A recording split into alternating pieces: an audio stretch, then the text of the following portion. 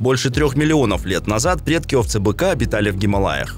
Когда климат изменился и наступил ледниковый период, животные спустились с гор и расселились по территории современной Сибири и северу Евразии. В те времена Чукотку и Аляску соединял перешеек. Именно по нему овцы-быки проникли в Северную Америку и обосновались на новых территориях. С приходом потепления численность этого вида животных стала сокращаться. По словам ученых, овцы-быки жили на территории Урала еще 3000 лет назад. Однако потом они исчезли. Предполагается, что причиной стали люди, которые охотились на овцы-быков и истребили весь вид в Европе и на Урале. О том, чтобы вернуть животное на арктические территории, задумывались еще в конце 19 века. Активнее этим вопросом занимались в советские годы, когда освоение севера шло ударными темпами. В тот период овцы-быков планировали разводить для дальнейшего приручения –